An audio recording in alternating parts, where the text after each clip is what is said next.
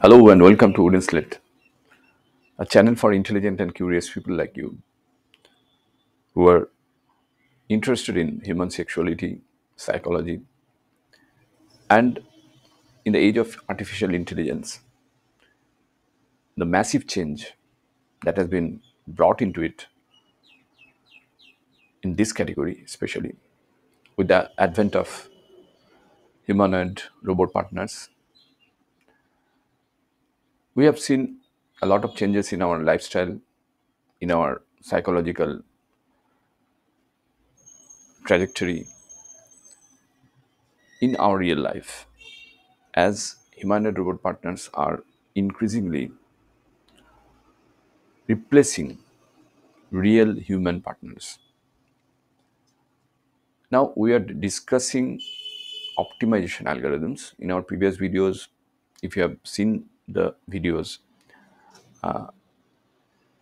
in particular field that meant in optimization algorithms field there is a separate playlist of course and you can if you are interested in learning about optimization algorithms about your uh, which actually optimize activities of your robot partner you can pick up that playlist and watch the videos serially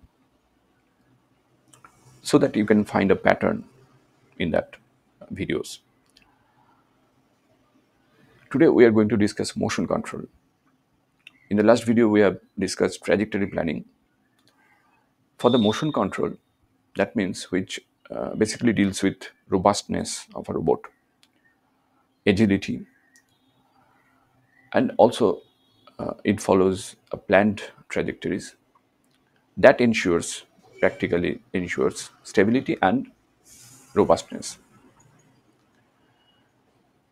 It actually regulates the joint torques or velocities to accurately follow planned trajectories. That means when you are planning to do some activities with your robot partner maybe that is on your in your bedroom or somewhere else in the garden probably the robot partner must understand in which degree there are a lot of physics involved of course. In which degree the legs should be spread out or in which degree raises one leg or not. And there are a lot of other complex processes you know that are involved in any kind of humanly sexual activities. Basically for this purpose the algorithms we use are model predictive control or mpc proportional derivative control or pid and adaptive control techniques. Of course we will discuss this topic this algorithms separately in this playlist. So you will get uh, them together in one place. And if you are interested in learning about optimization algorithms which are which play very very uh, important role in every kind of activities of your humanoid robot partner. You can have an idea about it. Of course i think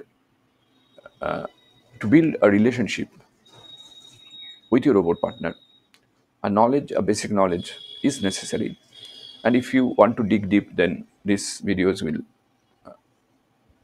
help you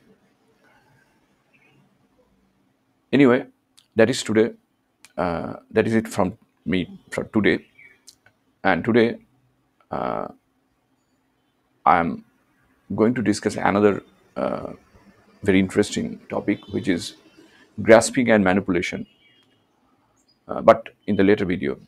Before that if you have not subscribed yet please subscribe. It means a lot to me. And if you have already subscribed please keep supporting me.